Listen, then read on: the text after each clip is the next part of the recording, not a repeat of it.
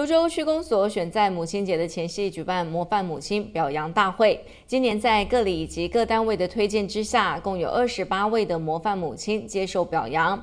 新北市副市长侯友谊，他也特别到场祝贺。迎接温馨五月的到来，泸州区公所在母亲节前夕举办一百零六年模范母亲表扬大会。新北市副市长侯友谊也亲自来到现场，献上真挚的祝福。妈妈节只不过是个节日，但最重要的，我们身为子女的，有空都要陪陪妈妈，因为妈妈是我们爱的中心。是我们家庭凝聚的力量。妈妈在，是我们永远幸福的一天。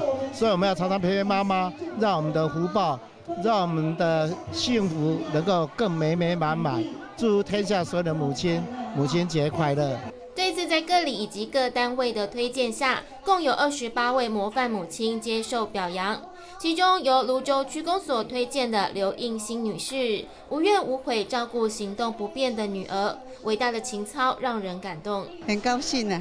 谢谢长官，还有谢谢我们的天上的上帝。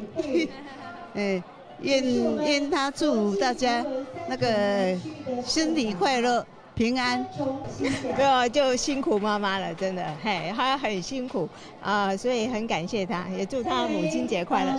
在这一年一度属于伟大母亲的日子里，别忘了向妈妈致上最高敬意，也提醒大家把握和母亲相处的每一个时刻，因为有时候陪伴就是最好的礼物。